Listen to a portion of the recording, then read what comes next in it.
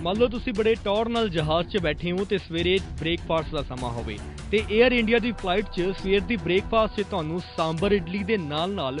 ਮਰਿਆ ਹੋਇਆ ਕਾਕਰੋਚ ਵੀ ਪਰੋਸ ਦਿੱਤਾ ਜਾਵੇ। ਜੀ ਹਾਂ, ਅਜਿਹਾ ਹੀ ਹੋਇਆ ਭੋਪਾਲ ਤੋਂ ਮੁੰਬਈ ਦੀ 에ਅਰ ਇੰਡੀਆ ਦੀ ਫਲਾਈਟ 'ਚ ਸਫ਼ਰ ਕਰ ਰਹੇ ਰੋਹਿਤ ਰਾਜ ਦੇ ਨਾਲ। ਜਿਨ੍ਹਾਂ ਨੇ ਆਪਣਾ ਗਰਮਾ-ਗਰਮ ਨਾਸ਼ਤਾ ਦੇਖਿਆ ਤਾਂ ਹੋਸ਼ ਹੀ ਉੱਡ ਗਏ। ਉਸ 'ਚ ਮਰਿਆ ਹੋਇਆ ਕਾਕਰੋਚ ਵੀ ਸੀ। ਉਹ ਕਾਕਰੋਚ ਜਿਸ ਨੂੰ ਨਾਲੀਆਂ 'ਚ ਘੁੰਮਦੇ ਅਸੀਂ ਆਮ ਹੀ ਦੇਖਦੇ ਹਾਂ।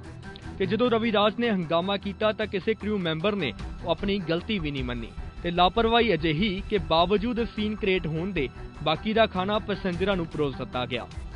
ਇਹ ਤੁਸੀਂ ਖੁਦ ਪੀੜਤ ਰੋਹਿਤ ਰਾਜ ਦੇ ਮੂੰਹੋਂ ਸੁਣ ਲਓ हम लोग को खाने में कॉकरोच निकला था जिसका हमने आपको उस पर भी शेयर किया हुआ है आ, फोटो के थ्रू में क्योंकि हम वीडियो नहीं ले पाए उस चीज का आ, बाकी फोटो हमने पूरा लिया कॉकरोच जैसे ही हमने उसको खोला तो उसके सांभर के साथ में पूरा कॉकरोच था और वही खाने को आ, फ्लाइट क्रू ने कुछ भी स्टॉप नहीं किया और उसको सब लोगों को डिस्ट्रीब्यूट कर दिया। हमने तो अपना वापस कर दिया बट उनने आगे भी उनको सब लोगों को खिलाया।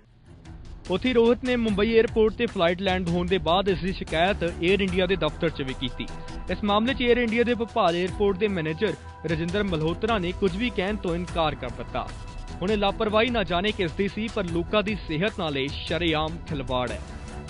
bureau report Daily Post Punjabi